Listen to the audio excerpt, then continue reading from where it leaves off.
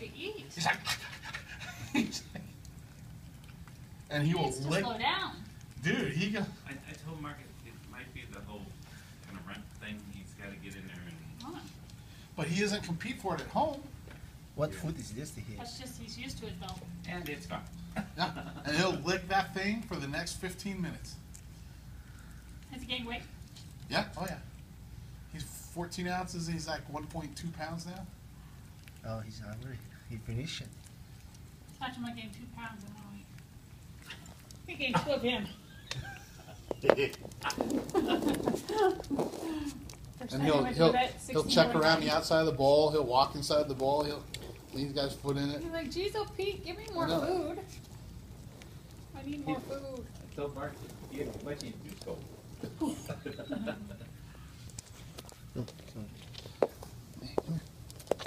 I'm not giving you any more.